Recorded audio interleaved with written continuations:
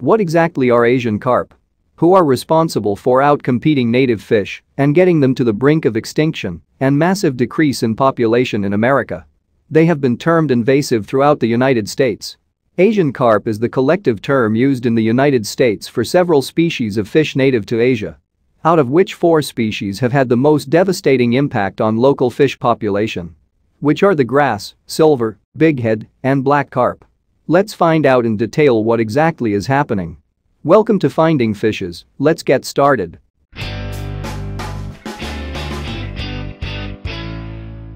Before we start, let's know what exactly is an invasive species.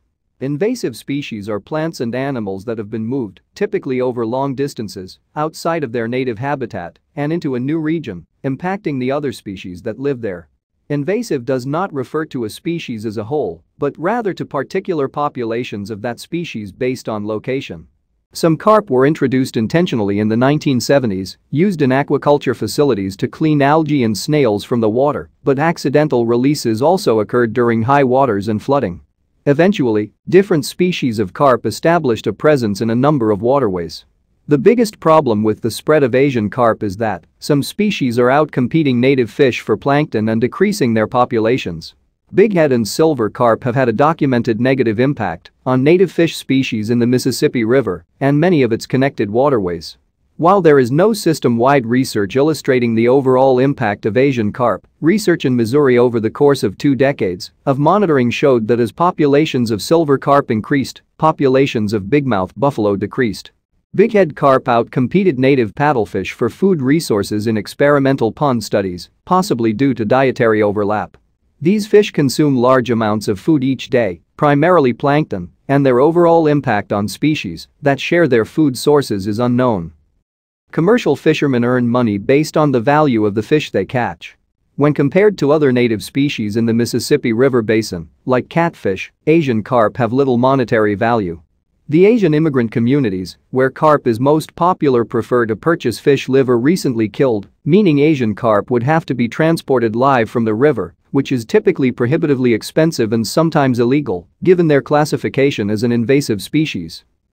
Silver carp have a unique quality, when compared to other Asian carp species, they propel themselves out of the water when startled by light and sound. Scientists suspect this could be a predator avoidance behavior, but no firm cause for their jumping activity is known, and the behavior isn't seen in their native Asia, likely because the fish are harvested and eaten at 1 pounds to 3 pounds and not allowed to reach 20 pounds to 30 pounds, like many silver carp in American waterways. National Wildlife Federation officials fear someone may be killed by a silver carp sooner rather than later, as boaters have been knocked out of crafts unconscious during encounters with the fish. Grass carp are only capable of digesting around half of the grass that they consume each day, with the remaining material being expelled into the water, enriching it and promoting algal blooms, which can reduce water clarity and decrease oxygen levels. One analysis of the ecological effects of grass carp found an overall negative impact as well as an alteration of water quality in stocked areas.